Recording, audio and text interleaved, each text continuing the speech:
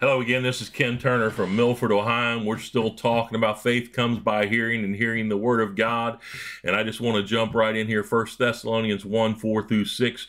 Knowing, brethren, beloved, your election of God, for our gospel came not unto you in word only, but also in power and in the Holy Ghost. Here we are, we're looking at the scripture. He's talking about, talking to the Thessalonians, and he says, Knowing, brethren, beloved, your election of God, for our gospel came not unto you in word only, but also in power and in the Holy Ghost and in much assurance. You know, some people want to try to say that the Holy Spirit ain't working today. They want to try to say tongues are dead and tongues are gone. But I can tell you right now, without the Holy Spirit working in and through my life, I am nothing. God is got his spirit and it's still alive in the church. And he says, My brethren, for our gospel came not unto you in word only, but also in power and in the Holy Ghost. That word power there is dunamis. It's the same word that dynamite comes from, and it's the same word that dynamite, dynamo comes from.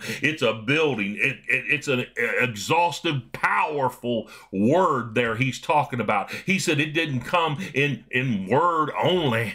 He said, but also in power and in the Holy Ghost. And that word ghost there is the same word as spirit. Oh, if it could say Holy Spirit there, and that word spirit actually means breath, breath of God. In other words, the word of God is living and active. It is God breathing forth into us, Christ breathing forth into us.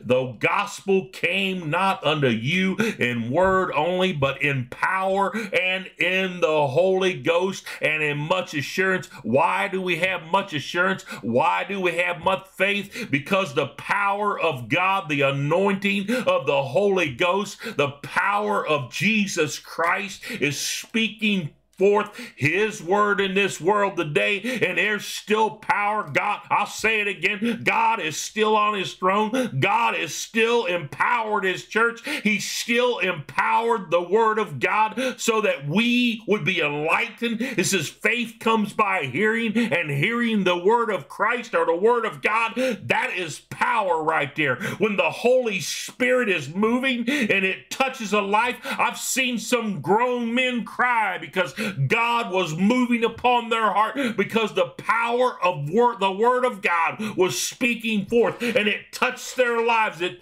touched their hearts. Oh, I, I remember one time I was witnessing to a guy and he says, man, I feel something in this. I feel so. Well, yeah, you're going to feel something because the power of God, the power, the anointing will come upon you as you share your testimony, as you share the word of God because faith comes by hearing and hearing the word of God. We got to have faith to get faith. We've got to hear the word of God be spoken and whether God uses you or he uses me, he is putting forth his word for his purpose and for his kingdom. We know we have to remember that. And ye it says here, let me go on down. As ye know what manner of men we were among you for your sake, and ye became followers of us and of the Lord, having received the word in much affliction with joy of the Holy Ghost. Here the church was persecuted. People were being put in prison. People were being beaten. The things like this was happening in Thessalonica church.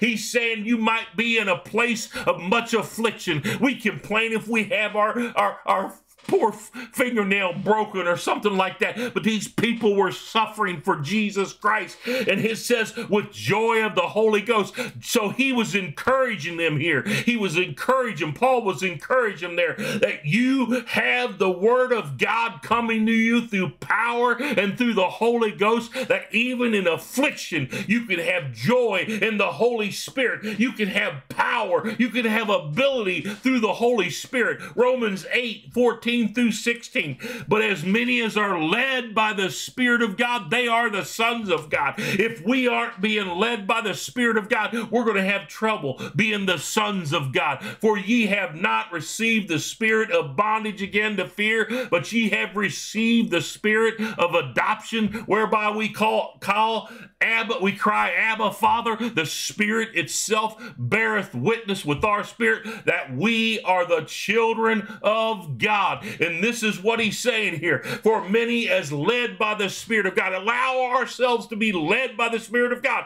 Allow God to speak to you through his word, through his word but allow the Spirit of God to lead and guide you. When you open up the Bible, ask God, ask God, God, show me what you're trying to say to me. Don't open the Bible and try to prove that you're right because you may be wrong.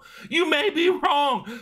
Study the Word of God, be led by the Spirit of God. If you don't, there's a lot of people I know they say, Well, I don't even know what they're reading. Well, start, just start reading. Just start reading the Bible through. You can read the Bible through in uh, what three chapters a day. You can read it through in a year. So Start somewhere. You have to start somewhere. For as many as are led by the Spirit of God, they are the sons of God. We must allow ourselves to be led by the Spirit of God. We can't be led by man's doctrine. We can't be led by just our church. We have to be led by the Spirit of God. God wants to use us, He wants to speak through us, He wants to deal with us, He wants to help us. We have to remember that God's Spirit is still working working. And faith comes by hearing, by hearing the word of God. The Spirit itself bears witness with our spirit that we are the children of God. His Spirit will bear witness by our spirit, his spirit will bear witness with our spirit that we are the children. I know whom I believe and persuaded that he's able to keep that which I have committed unto him. Why? Because I am being led by the Spirit of God. I'm allowing God to speak to me through his word and through his spirit. Hallelujah. Allow God to work in your life and speak to you.